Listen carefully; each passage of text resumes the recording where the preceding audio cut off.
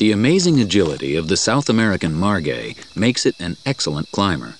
It is the only cat able to climb down a tree trunk head first. By turning its hind feet backward, the margay uses all four paws to keep a tight grip on the bark and descends carefully to the ground.